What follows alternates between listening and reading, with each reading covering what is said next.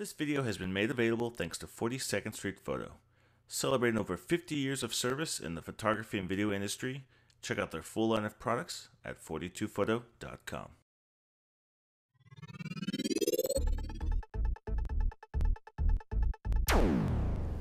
What's up, Geeksters? It's me, Omar from GeeksterLabs.com. How are you guys doing today? Today, as you guys can see, I have an iPad mini case, and this is something that was sent to me free for review from Studio Credence, and it is the Studio Credence uh, iPad case.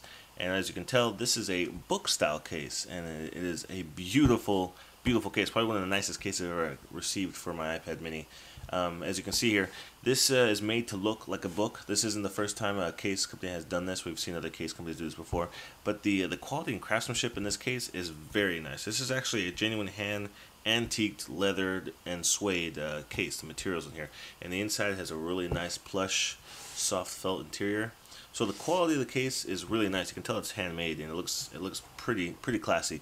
Um, as you can see here, it says My Pad on the side.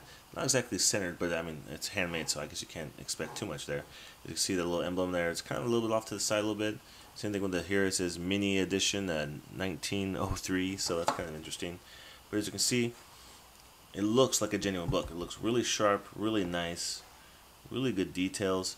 Now, granted, the case is very thick. I'm not gonna lie. Um, you know, if, if, you're really big on having an iPad Mini and having it really thin all the time, that pretty much doubles the size of the iPad Mini. So it's it's very quite thick.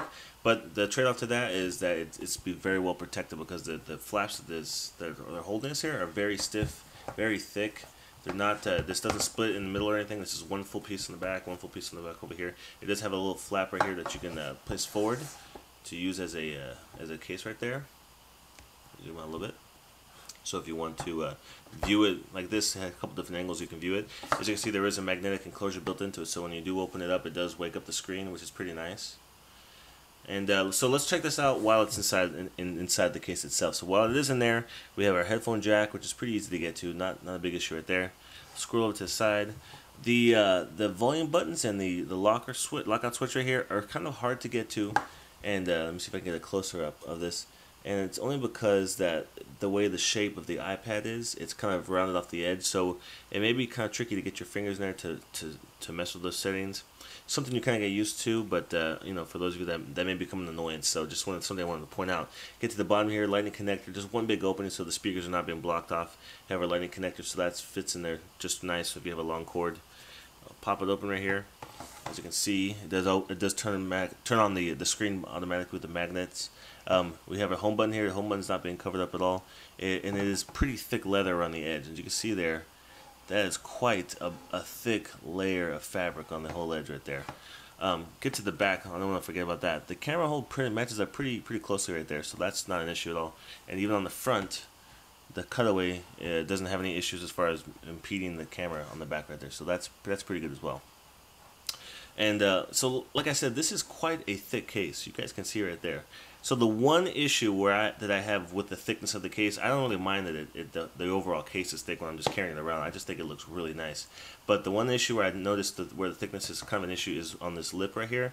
And whenever whenever you're watching videos or whenever you're doing Netflix or things like that, I do notice that the bottom corner, it's hard to press buttons in that in that bottom corner right there because it's like so close to the edge.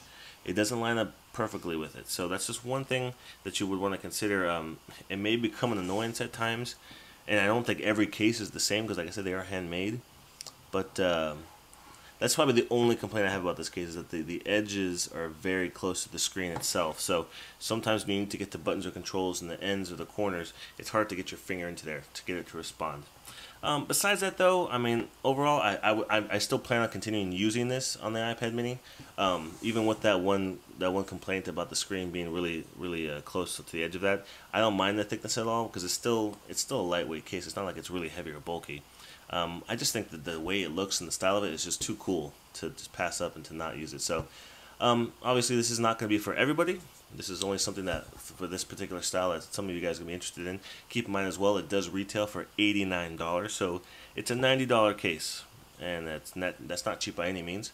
But I believe that the craftsmanship and the quality in it is really nice. If you can just uh, overlook those few other things that I mentioned as far as the thickness goes, um, I think this case will last you a really long time. And so it looks sharp, it looks nice, it's very well made, and it's very good quality. So that's pretty much it for me today, guys. If you have any questions about this case, the uh, the Studio Credence case, go ahead and post those questions below, and I'll do my best to get back to you guys.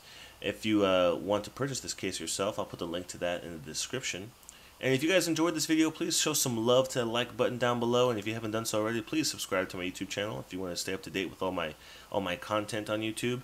And as always, make sure you guys stop by geeksterlabs.com for the latest in news and tech reviews. I'll see you guys in the next video.